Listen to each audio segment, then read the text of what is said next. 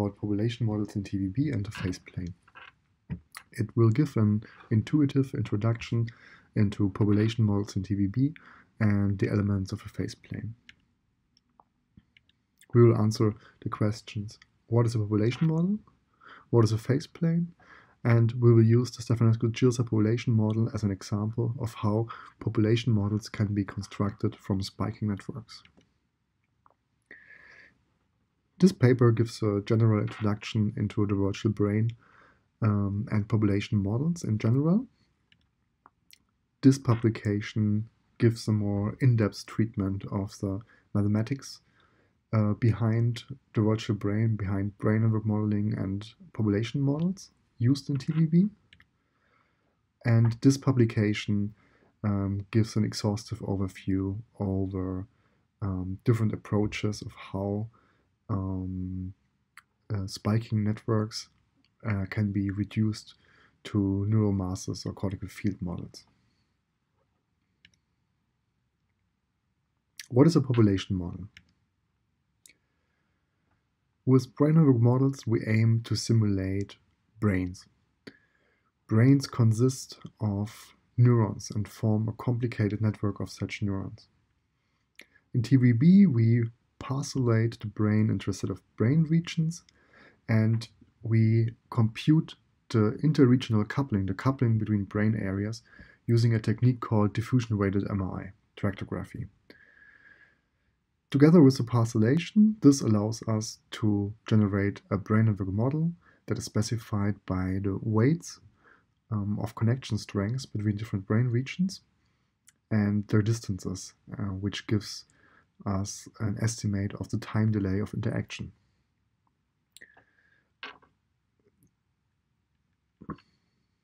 We uh, saw that the brain consists of a complicated network of different cell types that are all interacting in a complicated manner. Population models aim to reduce the complexity of such a network by employing abstractions. For example, this complex graph can be made simpler by only distinguishing between two types of cells, excitatory and inhibitory, and grouping the cells uh, according to their function. Neurons of different function together into two groups, we can further simplify the system by expressing the dynamics of either of the two groups using a simplified model that describes the average or mean behavior of each of the two groups. Why can we use an abstract model like a population model in order to simulate the brain? We can do this because abstractions work. When simulating the brain, we are interested in macroscopic properties of the brain. We are not interested in the specific behavior of individual cells. As an example, consider a pot of boiling water. When removed from heat, it slowly cools down. If we now want to uh, measure the temperature of this pot of water, we could either sum up the kinetic energy of each water molecule. This would be an enormous task, which would require um, extensive computations. Alternatively, we could employ a very simple formula, Newton's law of cooling. It just depends on the surrounding temperature, the starting temperature, and the cooling constant and the elapsed time. So a very simple formula that depends on um, uh, very few parameters and variables can um, give us an estimate of this macroscopic quantity temperature in the pot, um, which depends on macroscopic elements. But here, the specific settings of individual mac microscopic elements is not important. What is important for the um, macroscopic behavior of the pot, its temperature, is an average, uh, the average behavior of all these individual molecules. And we do something similar when simulating brains. What is our motivation to generate population models? Our goal is to understand the dynamic behavior of neural networks. In order to do this, we need to employ simplifying assumptions. Neural networks, as we find them in human brains, are overwhelmingly complex it would be impossible to get meaningful results from a simulation of an entire brain on the level of spiking neurons. There are so many degrees of freedom, there are so many um, parameters that cannot be measured. We um, would not get meaningful results of such a simulation, and it cannot be constrained by empirical data. In order to reduce complexity, we employ the concept of a neurocomputational unit, which is a population of neurons that shows similar behavior. If a population of neurons shows a similar low-dimensional behavior, we can reduce their behavior or their description to this mean behavior and only show their mean behavior. And this gives us the building blocks to construct large-scale brain network models, neurocomputational units, and their interconnections. Our goal is to reproduce typical complex neural network patterns or dynamics uh, like synchronization, multistability, clustering, oscillations, bursting, oscillator, oscillator tests, etc. with a low-dimensional system. Um, these complex dynamical patterns are commonly found in recordings of neural activity. And here we wish to reproduce them with a simplified low-dimensional system. For the dynamics of large-scale networks, the details of neuron type, connectivity, or spike timing are often irrelevant, or to be more precise, they can be lumped together. For example, the position on a dendrite, the dimension of a synaptic terminal, the receptor distribution, the type, all determine the synaptic efficiency of a connection. All of these may then be absorbed in a simple coupling parameter. We could either devise a very complex model that takes into account all of these um, complex properties like the 3D morphology of a dendrite, the size and morphology of synaptic terminals, the number of spines, and so on, the type of um, uh, the specific type of a receptor subclass, for example, and so on. All of these have uh, an influence on the connection strengths these neurons have. But we could also um, treat them by just a single parameter that just um, specifies this connection strength. So we absorb these different parameters in a simplified phenomenological parameter. uh, another motivation is that neural dynamics may live on a low dimensional manifold, which is a recurring observation in experimental data. For example, the cortical population activity uh, required to perform different kinds of motor behaviors can be mapped to a low-dimensional neural manifold that is largely preserved um, across different tasks.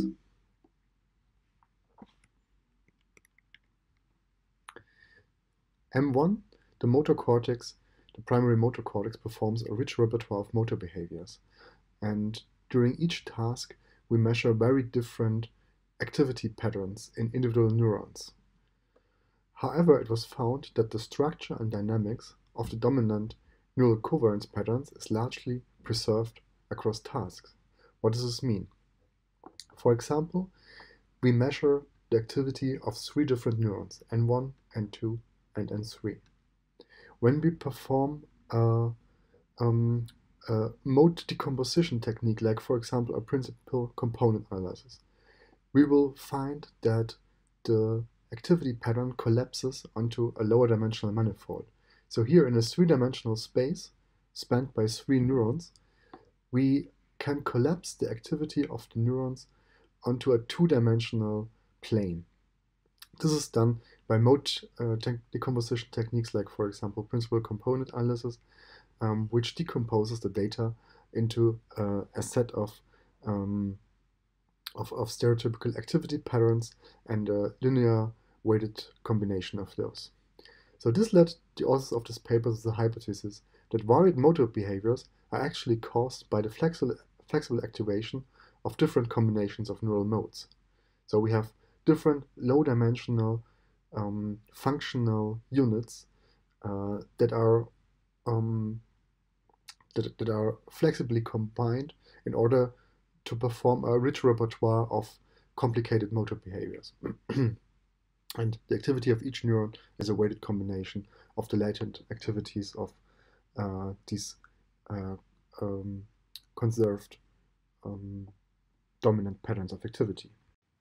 What is the relationship between a brain network model and a population model?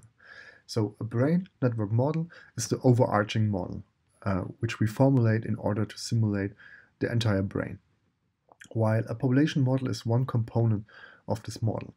Population models are coupled together according to the weights and time delays which we estimate using diffusion weighted MRI tractography. So from diffusion weighted MRI tractography, we extract uh, two metrics um, represented here as two matrices that quantify the strength of interaction and the time delay of interaction between different brain regions. And um, these are coupled to form a dynamical system, uh, which consists um, of coupled differential equations. So we have differential equations here. Uh, on the left-hand side, uh, we have the derivative, which uh, gives us the um, amount of change in a variable yi in an infinitesimally small um, time step dt. This variable yi could be uh, could represent all kinds of neural activities like firing rates, um, synaptic activities, membrane potentials, and so on. Uh, the current state of um, this state variable yi is then plugged into this function f, which is our population model. So the population model computes um, the rate of change of its current activity depending on its current activity. So depending on the current activity, this um, function computes how the next time step will look like. And this depends on the current state, yi, but also on the current state or past state of all presynaptic um, populations. So all um, all brain regions um, from which we receive an input in our brain region I, um, the input is summed here um, to this function. So we have here another function g, which takes as input uh, the weighted sum, the weighted and time delayed sum um, of all presynaptic inputs that our local population receives. So the sum depends on the connection strength, the time delay, and the current state yj of a presynaptic um, population, and is then added up. And finally, the last term is uh, in our brain network model equation is uh, this eta i um, at time t, which is a noise process um, to derive the population.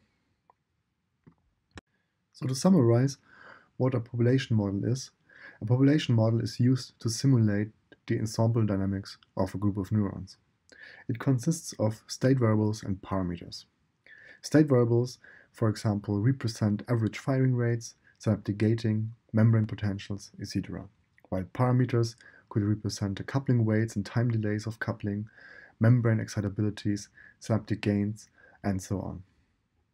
And we typically um, uh, discern between two different levels of description. So on the one hand, we have a rather qualitative description, uh, an abst uh, abstract or phenomenological model, where the neural entities, the states and parameters, do not directly correspond to a biophysical quantity. So the unit of um, our state variable is not um, an SE unit like ampere, for example, but it's a dimensionless system which uh, can be somehow mapped um, to a to a real system, but gives more of a qualitative description of its activity. And then we have physiological or biophysical models or biophysically oriented models where the states and the parameters uh, really aim to model a measured uh, biophysical quantity like a current across a membrane and so on, and which is also expressed in this unit. Let's turn to the question, what is a phase space? And to answer this question, we will give a short primer on dynamical systems. What are the components of a dynamical system and how do we analyze it? Um, most of us are surely familiar with the time series representation of data. At the x-axis we have time and at the y-axis we have some time dependent or time changing process like for example the membrane potential of a neuron. Um, below we see um, uh, at the y-axis now the change, the differential dv over dt, um, how this potential changes. So we can see, for example, um, at the beginning, there is a steep increase in the potential. So we have here a very positive value. So from infinitesimally small amount of time, dt uh, to dt uh, and so on, we see uh, an, an, increase of the amplitude. The amplitude starts negative here and after a while becomes positive. It increases all the time. So while this amplitude of the potential increases, we have um, a, a, positive derivative. Now we see here that the amplitude um, increase comes to a halt, halt and um, it stops basically. So here at this position we see that our um, derivative or the, the quotient of the differentials goes to zero. It doesn't change here, here's a plateau. And then the direction of change changes. Uh, the amplitude decreases again. So here uh, our derivative gets negative. So this is um, a representation of the left-hand side of our dynamical systems equations.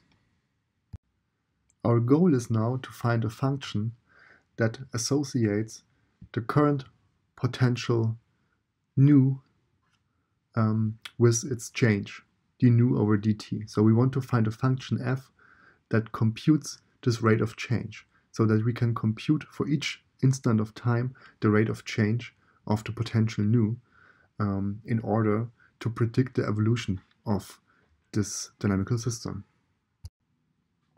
Let's look at another representation of this system. What we just saw was a time-based representation. The x-axis uh, represented time and the y-axis represented um, either the potential nu or the change in the potential nu uh, in an infinitesimally small time step dt. now we chose a representation called state space that omits time. So no axis encodes time anymore. Instead, both axes encode either the state variable or the change in the state variable. Now our initial point in this trajectory um, was at minus 0.3 um, for the potential nu and at plus 0.3 for the change in the potential. So this is our initial coordinate. Now if we plot the time series as before, we see that the time series maps in, in state space onto an inward spiraling spiral. Uh, this blue line is called a trajectory in state space and uh, the point it um, approaches is called an equilibrium point or a fixed point or uh, an attractor. So we have different uh, kinds of geometrical objects in state space and there could for example be fixed points. Fixed points are attractive um, but equilibria can also be repulsive so they can um, push the state away from themselves. Let's look at another example. In the previous slide we saw a damped oscillation. The amplitude became weaker and weaker over time. This time we have a self-sustained oscillation, which means the amplitude stays constant over time. How does this look like in state space? So we start at a point, um, yeah, roughly similar as before at minus 0.3 plus 0.3. And now we draw our self-sustained oscillation. This self-sustained oscillation maps to a closed trajectory, a closed circle in state space. This object in state space is called a limit cycle. In general, the state space of a dynamical system has the same dimensionality as the number of state variables. So if we have two state variables, we have a two-dimensional state space. If we have three, we have a three-dimensional state space, and so on. Um, the higher the number, uh, the higher the dimensionality of the state space, um, the more complicated uh, and chaotic can the dynamics uh, be. So um, in a two-dimensional state space, we typically have um, dynamical patterns like we saw before, self-sustained oscillations, damped oscillations, and so on. In a three-dimensional state space, um, when our state flows through all three dimensions, um, we can see more complicated um, dynamical patterns. For example, here we have this um, burst-like behavior. Um, and uh, here we can see um, a chaotic bursting where we don't have a fixed um, a fixed interspike interval, but rather this uh, chaotic interspike interval distribution, um, which uh, results from this three-dimensional flow in state space. So we have here um, uh, fast spiking oscillations uh, along the xy plane and a slow recovery variable along the z-axis. As we have seen before, a trajectory in state space can uh, converge to a stable equilibrium. Uh, in the time series representation, this just means that the amplitude approaches a certain value and stays at this value. Uh, in a phase portrait, we will now a phase portrait now is a qualitative mapping of this dynamic. So in a phase portrait, we redraw the, the state space in a qualitative manner. We interpret the state space in a qualitative manner. We distinguish different dynamical regimes in this phase space, in this state space, and this is our phase space. So um, in a phase portrait, we would indicate um, a stable equilibrium or fixed point as a filled circle with arrows um, pointing towards this filled circle. In contrast, an unstable equilibrium, uh, which um, uh, uh, moves the state away from itself, will look in the time series representation like this. There is an amplitude that starts at a certain value and then it uh, moves away from this value. In the phase portrait representation, we will uh, show this as an uh, open circle with arrows pointing away from it. Here's a selection of geometrical objects that we find in phase space.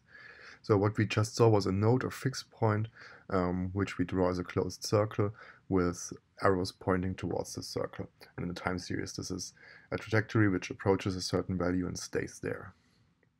A focus is an inward spiraling spiral, um, and this corresponds to a damped oscillation. A limit cycle is a self-sustained oscillation. We um, enter the limit cycle and then we stay um, at this specific amplitude. Uh, um, when we have at least three dimensions in our dynamical system, uh, we can generate chaotic uh, patterns, and these uh, cannot be classified as either of the before. Let's introduce further concepts from dynamical system theory. In order to do this, we'll look at another dynamical system. So here we have now uh, the equations for a two-dimensional dynamical system um, with the state variables x and y, which change over time. And um, here is uh, our state space now shown uh, not in dependence of uh, one state variable and its derivative, but instead now both axes of our state space correspond to one of the two state variables. So we have y, the y variable at the y-axis and the x variable at the x-axis, and um, we can see here we have uh, some sort of oscillation which converges uh, to a fixed point. So as we saw before, this corresponds to this kind of uh, inward spiraling spiral. So what we did before was drawing a single trajectory in, in state space. What we do now is we draw many trajectories in space, state space. So we draw trajectories for many different initial conditions. So um, if we start our system at many different points, we will get many different trajectories in state space. And um, this uh, representation is called a flow field. So here we see the flow of the system for every point in the system. So we get an intuitive and qualitative understanding uh, of the um, of the change of the system depending on where you start. Uh, and this is indicated by drawing um, these kinds of trajectories with uh, arrows.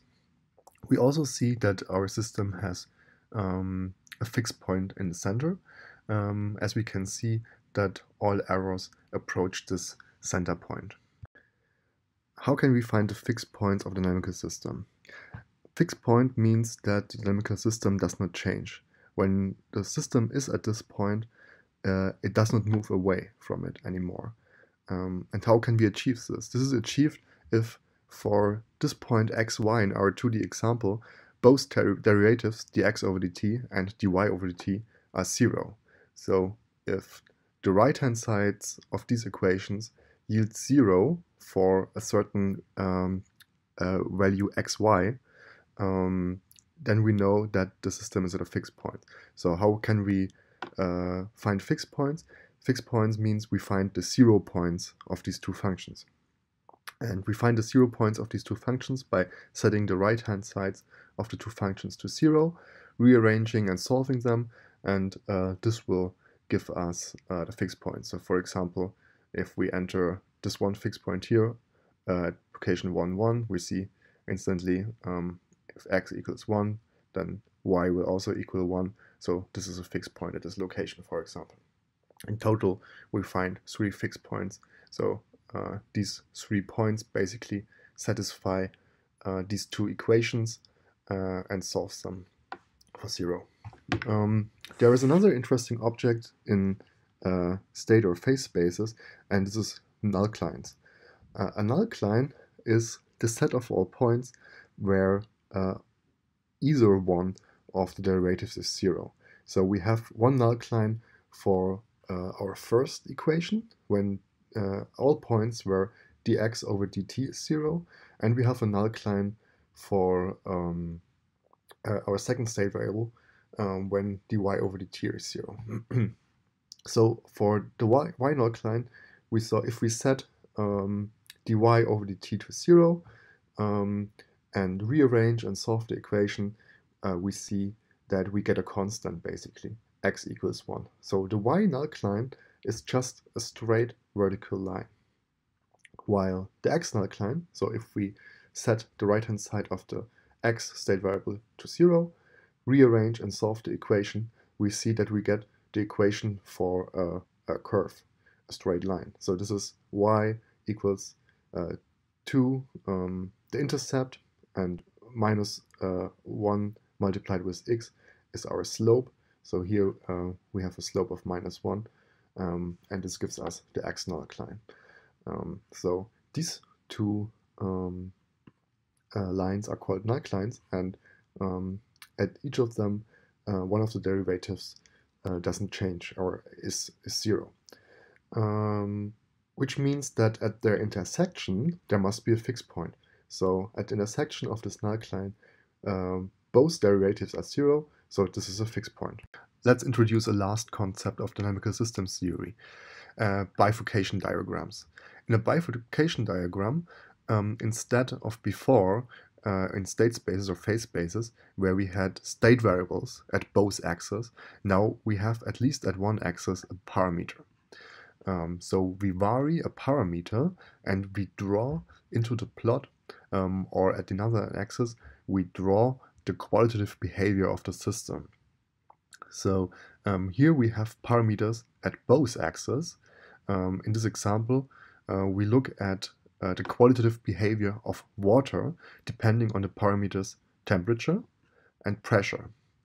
Um, so depending on the temperature and the pressure, if we vary either or both, we see that water undergoes qualitative changes. So at a very low temperature, uh, water is typically in the form of ice. But now if we increase temperature, the ice will melt and um, it will uh, uh, uh, uh go into water. Uh, it will, it, it will become fluid and water. Or um, if pressure is low enough, it might also become vapor. So a bifurcation diagram gives us an overview of the qualitative behavior of the system independence of its parameter settings. To Conclude our short primer on dynamical systems uh, with a short dictionary on the most important concepts. So we saw that state variables um, change in time. So they describe the evolution of a certain entity, like the speed of a car or um, the membrane potential of a neuron. In contrast, a parameter remains constant on a short time scale and is used to describe the structure of the dynamical system. So, for example, the mass of a planet or the density of synaptic connections, and so on. A differential equation now associates state variables and parameters, which is, uh, which is other. Uh, a differential equation describes how a state variable changes as a function of its current state and the parameters. A phase space now is a geometric representation of the qualitative behavior of the system. So in a state space, um, the state space has the same dimensionality as our dynamical system, um, but we can still look at lower dimensional um, slices of this high dimensional state space, and it gives us a geometric representation of uh, the flow or the behavior of the system. While the flow is um, uh, the vector um, of change, the, the, the, orientation and magnitude of change for each point um, in phase space.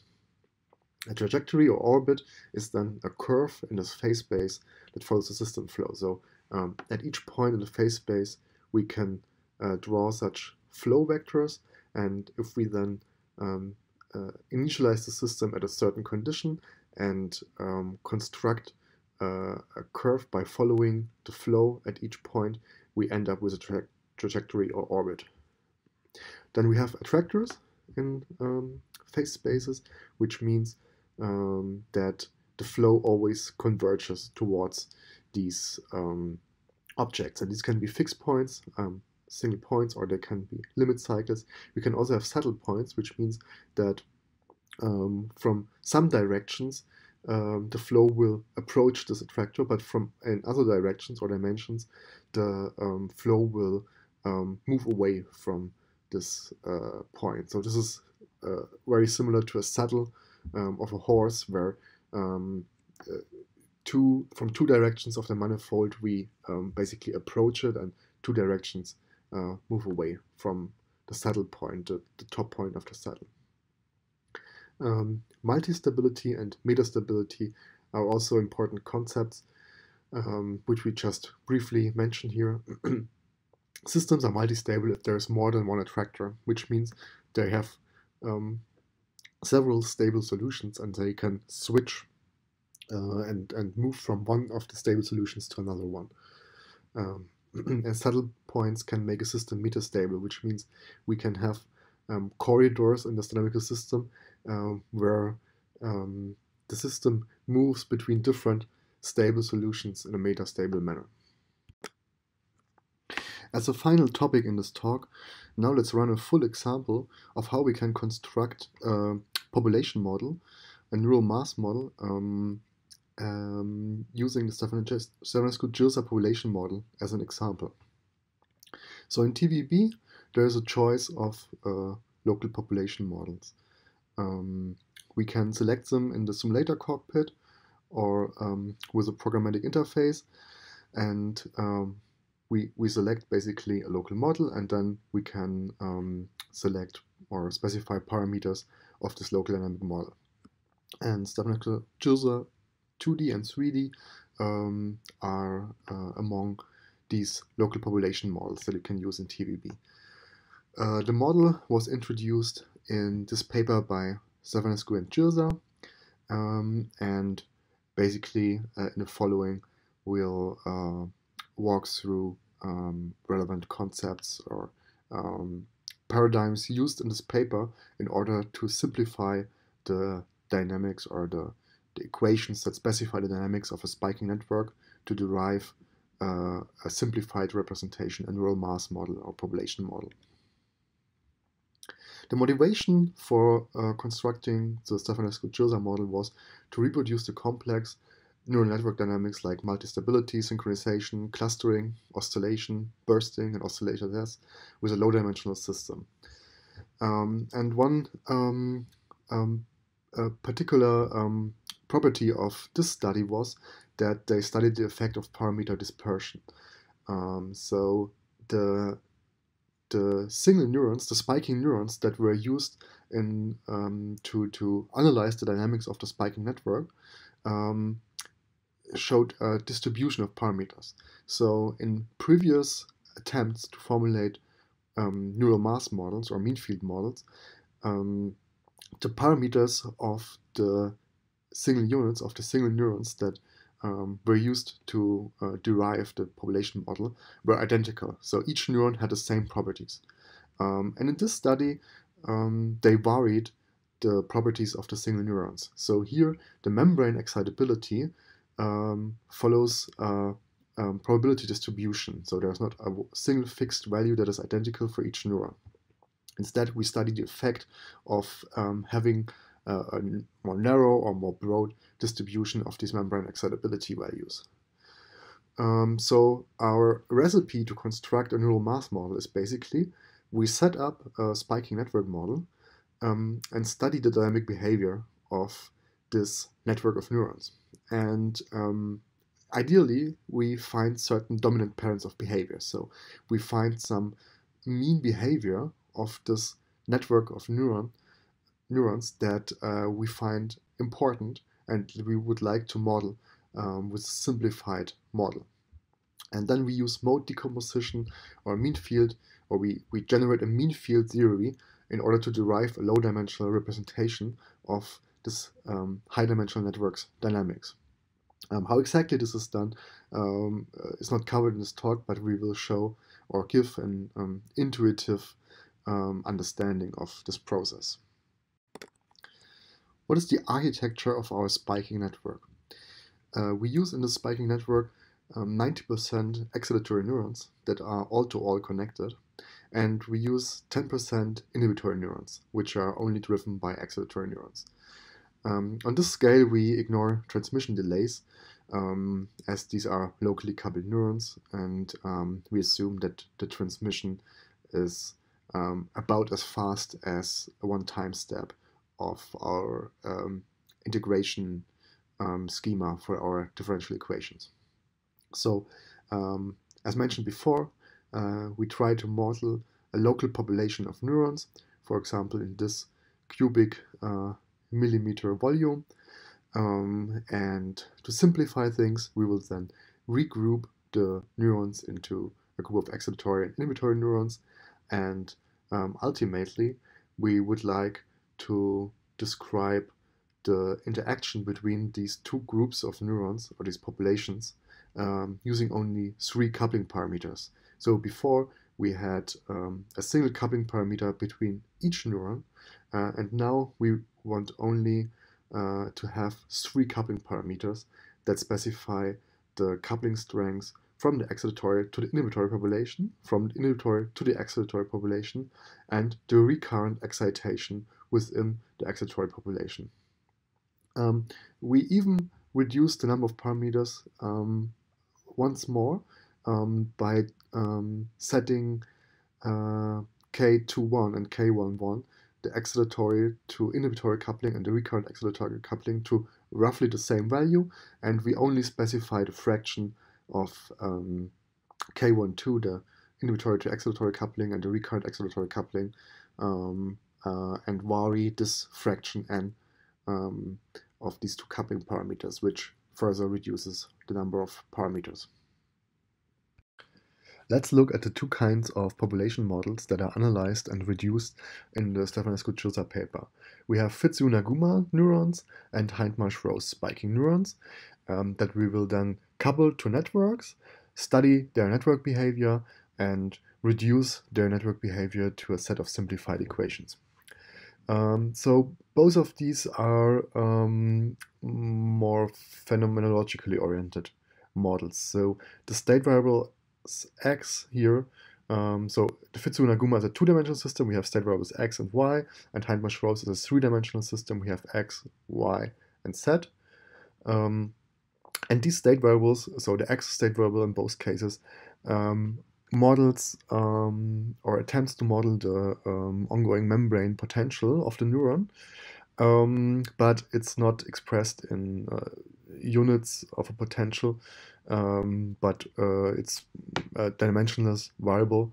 Um, so we don't have uh, millivolt uh, units here, but still the variable um, moves between a negative and a positive value, much similar to the uh, membrane voltage of a neuron.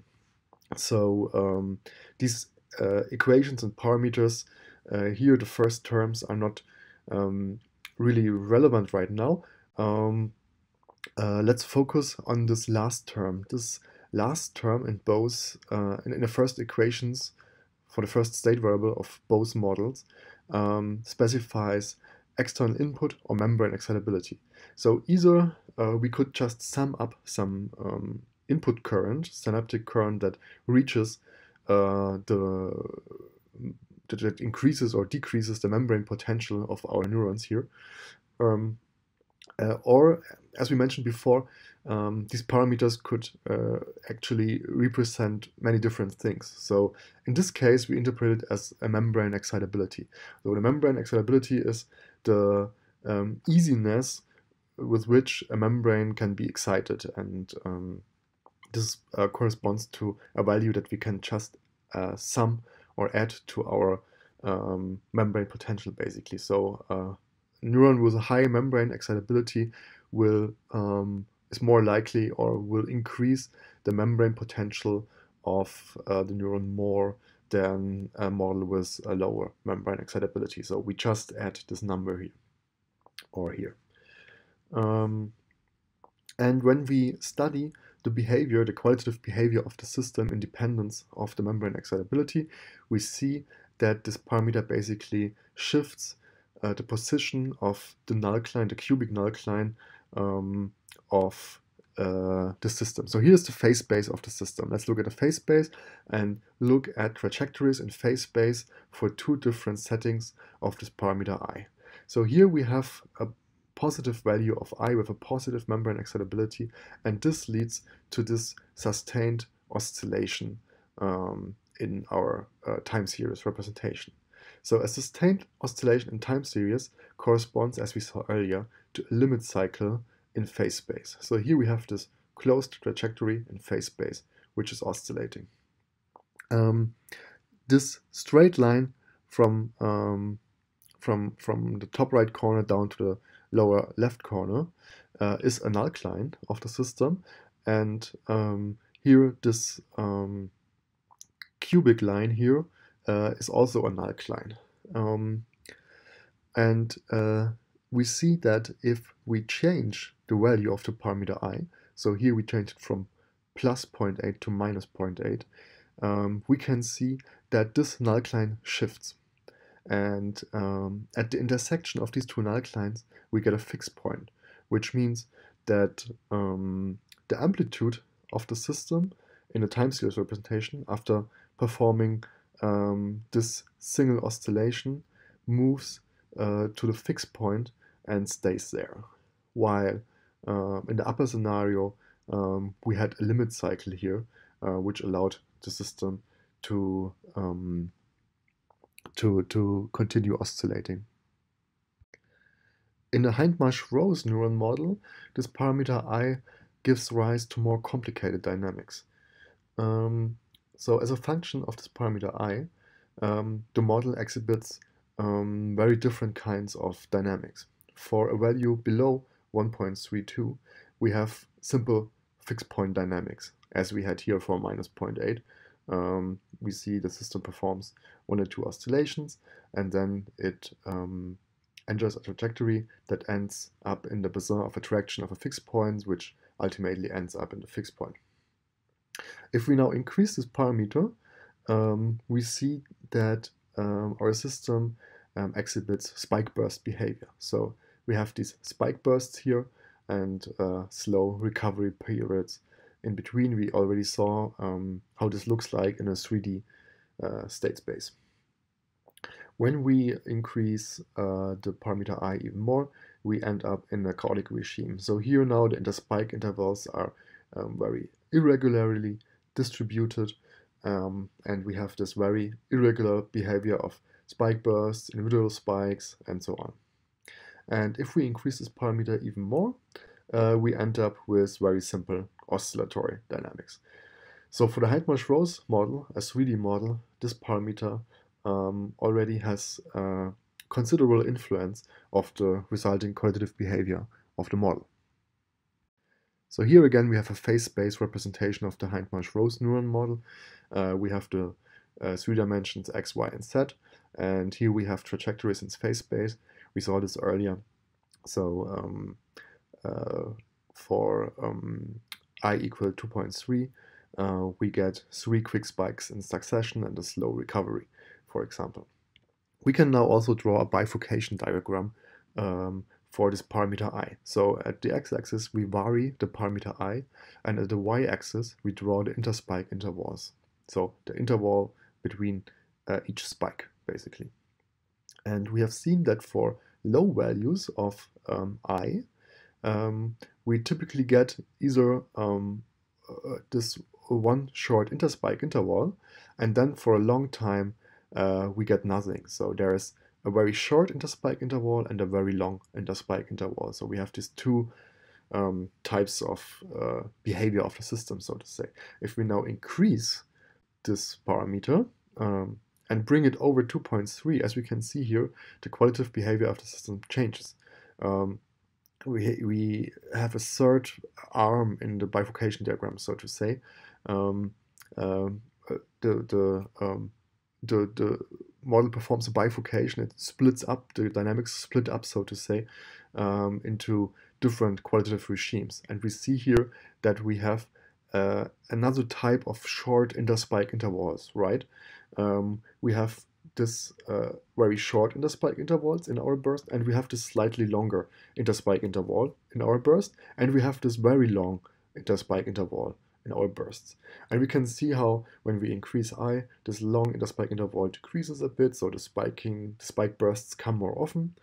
Um, and uh, if we increase even more, we can see that this gives rise again to a new uh, class of interspike intervals until uh, now, when we get above 2.92, everything becomes very chaotic. So now we don't have like two or three uh, more or less fixed interspike intervals, but the interspike intervals uh, can be um, all over the place basically. So they can be anywhere in between here, and this is uh, what we then call a chaotic regime, though uh, we cannot really easily make sense of this. Um, uh, everything is possible, so to say. And again, if we increase this parameter further, um, above 3.4, we see that um, then suddenly dynamics become very simple again. So now we have just a very uh, simple dynamics, simple oscillatory dynamics, and only a single, more or less, a single interspike interval, very regular spiking, um, which then uh, becomes uh, uh, faster and faster with increasing i. So we see here how a bifurcation diagram gives a very simple and intuitive overview over the qualitative behavior of the system. Um, so at the y-axis here, we could draw all kinds of um, measures that quantify the qualitative behavior of the system. Um, here we chose the interspike intervals, and this already gives us a nice overview of the behavior of the system. Now comes an important conceptual step. Uh, what we previously looked at were, were, individual neurons, uncoupled individual neurons that uh, were just um, isolated, basically. They were not interacting with other neurons. Now we couple these neurons to form networks of neurons. Uh, this was not read, uh, uh, accounted for in the equations yet. So we have to modify our equations um, and add the influence of other neurons. How do we do this? We do this in a very a similar manner than we did before when we introduced the simplified uh, large-scale brain network model equations. So our change of neuron activity, um, the left-hand side, the, the differential or derivative, um, does not only depend on the local activity of the neuron anymore, but also on the summed input from all connected neurons. So now we sum up the input from connected neurons um, and uh, we may put it into some kind of coupling function that, um, or our dynamical system, which basically uh, uses this estimate of the input from connected neurons in order to compute the change um, of activity. So um, here above we again see the single uncoupled neuron equations and now um, we make a system of uh, N1 plus N2 coupled excitatory and inhibitory neurons. So now instead of uh, uh, two equations, we now have N1 x equations and N1 uh, y equations for the excitatory neurons, and we have N2 x equations and N2 y equations for the inhibitory neurons. So this index I1 um, and J2 uh, basically denotes um, runs over each neuron basically. Um, on the right hand side we see that um, the major um, um, terms are still there. So from this x equation, we still have this term c times what is in brackets here, and we also have our um, uh, membrane excitability term here. Um, the y equations are identical in both cases um, for excitatory and inhibitory neurons. Um, what is different here is that we have this term, this additional term here. Um, so in the excitatory neurons and in the inhibitory neurons, we get an additional term here that is summed up to the equations. And this is the input from connected neurons. So what inputs do we have? Uh, we have an all-to-all -all connection with excitatory neurons. Um, and in this case, we basically can model the input as um, more or less as the average sum of inputs um, that uh, we as, as the average membrane potential that we have in the whole network uh, minus the local potential. So this gives us uh, basically an all all to all um, uh, network.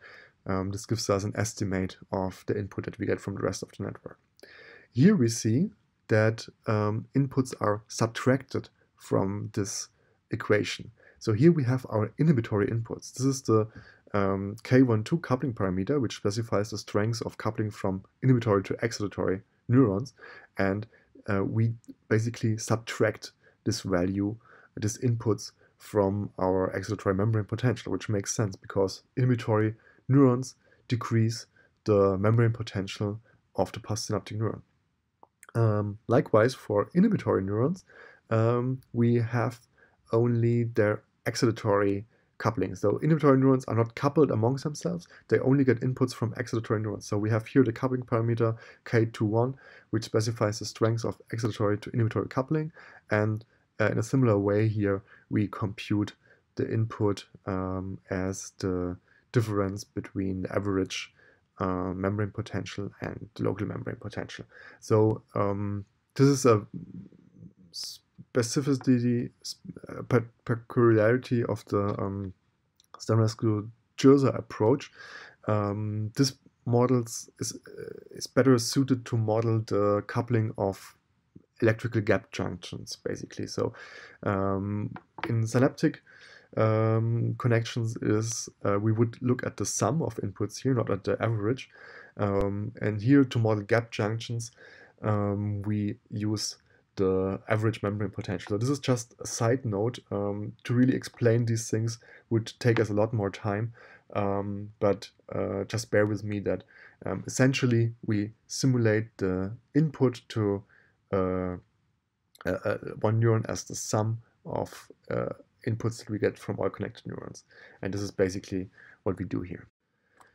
For the Hindmarsh-Rose neuron, we do the very same thing. So we have three equations now um, which means we have now um, three equations for all excitatory neurons and three equations for all inhibitory neurons. So um, these are three times n1 equations and these are three times n2 equations, which is um, already a lot of equations. Um, so here uh, we see basically the same thing. The basic structure of the model equations remained identical um, and we just added at the first state variable this coupling term, um, which specifies the input which comes from the um, the excitatory the, the, recurrent excitation of the excitatory pool and the inhibitory input from the inhibitory pool of neurons and uh, for inhibitory neurons the excitatory input. So here in both terms we uh, in both cases we um, now changed our single neuron equations to a uh, network equations. So now these equations specify the behavior of a network of neurons and not of single neurons anymore. So now let's study the dynamic behavior of uh, such a network of spiking neurons in order to determine um, qualitative dynamical features that we would like to reproduce in our reduced population model. So to recapitulate, we um, are considering a network of N1 excitatory and, N2 inhibitory FitzHugh-Nagumo or um, Hindmarsh-Rose neurons.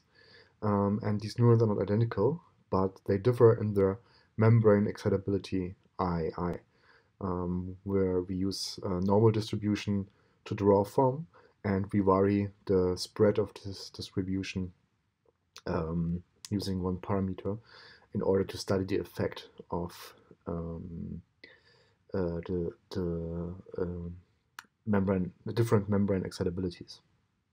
And as noted before, uh, this parameter um, may absorb variability of different physiological properties, not only membrane excitability, but also things like receptor expression, expression levels, neuromodulation, pathologies, and so on uh, can be absorbed in uh, similar parameters or in identical parameters, which allows us to reduce the complexity of such a system. So instead of having a model that um, explicitly models uh, receptor expression levels, um, the effect of neuromodulation, um, or different um, uh, uh, uh, membrane excitabilities, we absorb all of these features in a single parameter because the um, effect of these different physiological properties um, is comparable or can be um, simulated by uh, similar terms.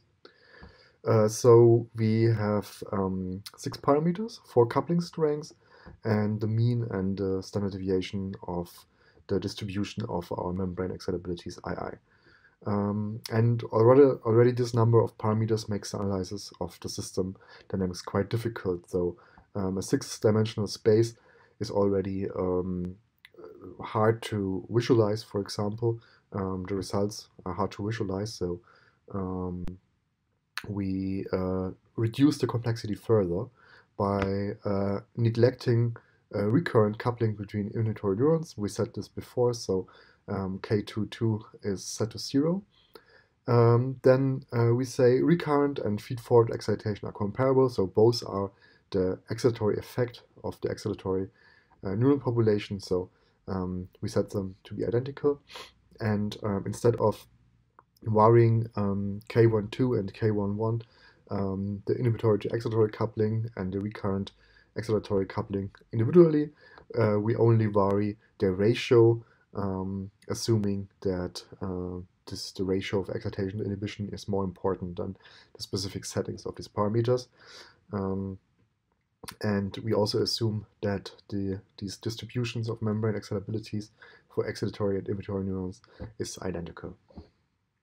Let's study the behavior of a FitzHugh-Nagumo network um, that is dominantly excitatory. So our parameter n equals 0.3, which means um, which means that K12 is larger than K11. So, um, uh, sorry, K11 is larger than K12. So, n gets smaller than 1, uh, which means we have a higher um, excitatory coupling than inhibitory to excitatory coupling. And we find when we analyze the system that the dynamics uh, fall uh, or can be categorized into three categories or three dynamical regimes. Um, we have region 1 for relatively low coupling values of K11 and K12. We find that activity falls into two clusters. We have on the one hand uh, large oscillations um, on a limit cycle in red, and we have small oscillations uh, around a fixed point in, in black.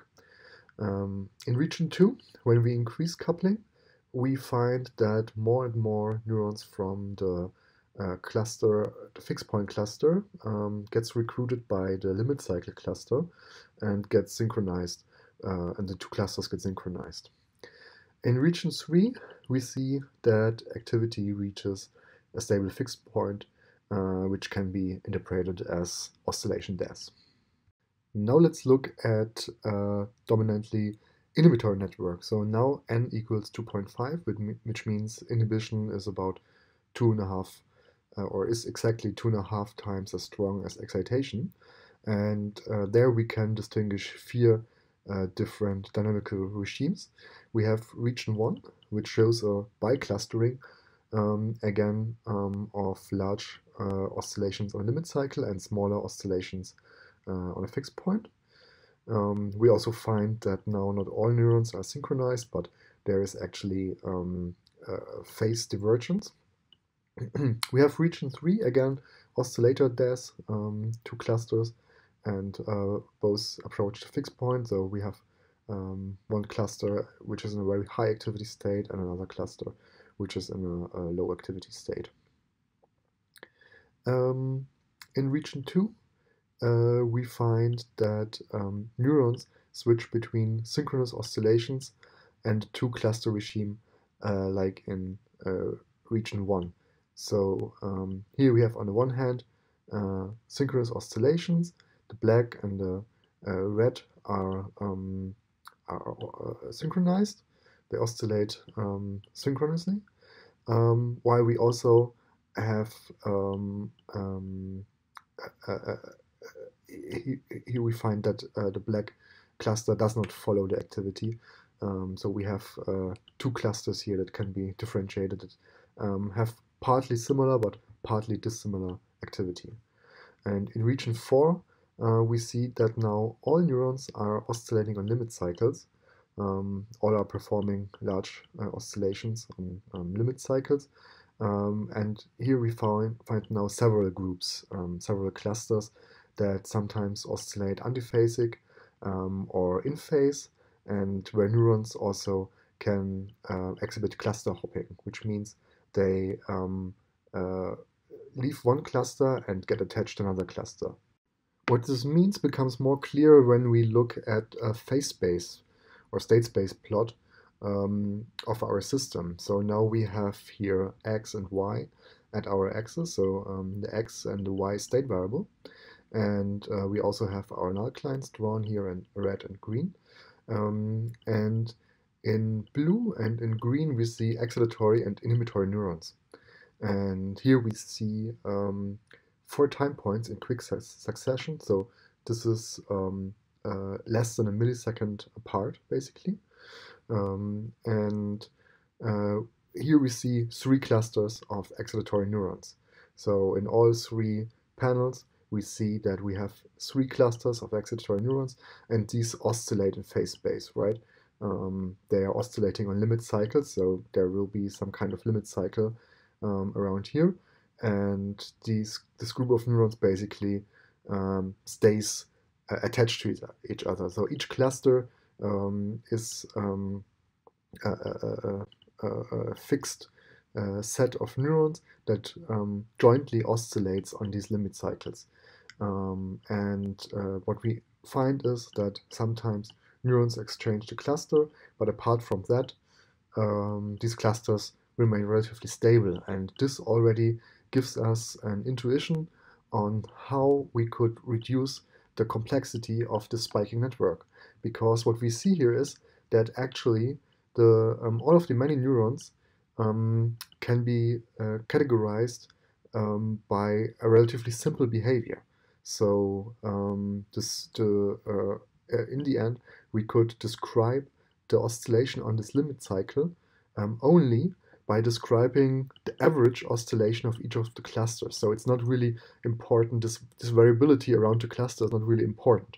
Um, we can um, capture the main or the dominant, dominant patterns of activity um, of this spiking network by just um, simulating the mean activity of each of these three clusters and the inhibitory cluster.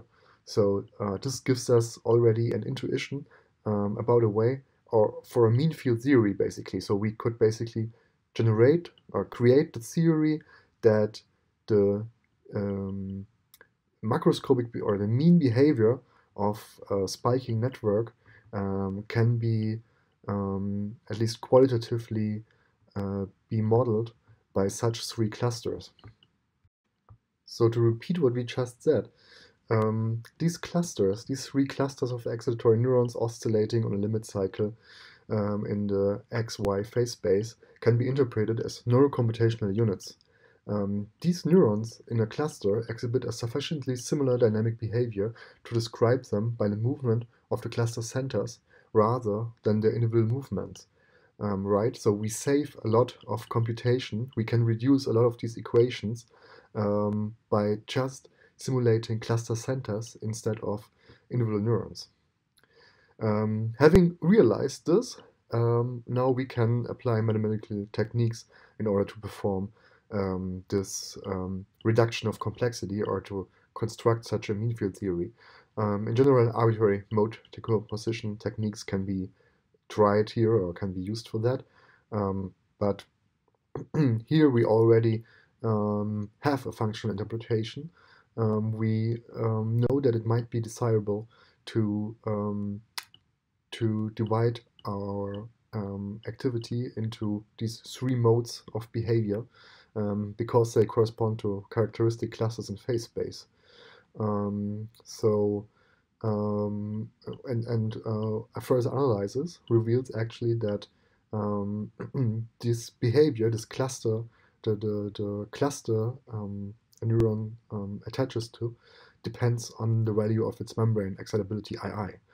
Um, neurons with a smaller II are less likely to be a member of a strong firing cluster and rather a member of a quiescent cluster. So basically what we can do here is we partition our neurons based on II into small, medium and high values and describe um, the average movement of the resulting clusters um, by simplified equations. So how would this look like when we uh, apply um, such a, um, a, a, a, mean field, or when we create such a mean field theory for our original FitzHugh-Nagumo system. Um, so again, our clusters are neurocomputational units, and we partition neurons based on um, II into small, medium, and high values, and this gives rise to a new set of equations um, which have a very uh, similar structure, or basically almost identical structure, than um, the original network, um, we still have uh, two equations for our excitatory and two equations for our inhibitory neurons. Um, but now we don't have um, these two equations for each excitatory neuron or each inhibitory neuron, but now we have only three equations which describe the three um, excitatory uh, modes of activity, basically, the three clusters, and likewise for the inhibitory population. So our population activity is now simulated by this reduced set of equations, uh, which has a very similar structure. So we can see here basically um, the we, we basically have a new set of state variables, um, but the interrelation between the state variables, um, the logic is uh, stayed more or less the same. Uh, basically, we need needed to fit some parameters. Um, um, so simply speaking, we um, introduced some parameters and fit these parameters in order to uh, reproduce the behavior of these three clusters basically. Um, and uh, this gives rise to this reduced set of equations. And we can see that instead of uh, n times 2 equations, so if our uh, um, network uh, consists of 100 neurons, we would have 200 uh, equations.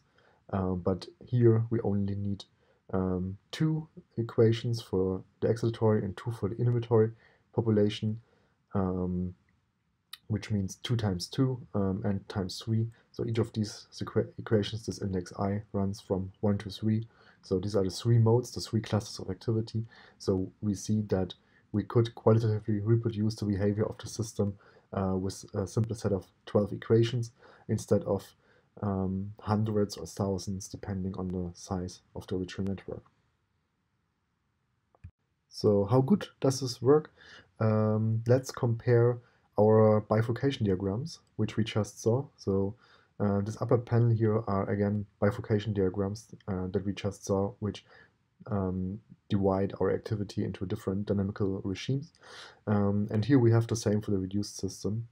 And uh, what we see is basically that there is uh, a strong overlap, basically. So um, there might be uh, some small errors of location, basically, but uh, more or less uh, the error is very small and the qualitative behavior is nicely reproduced.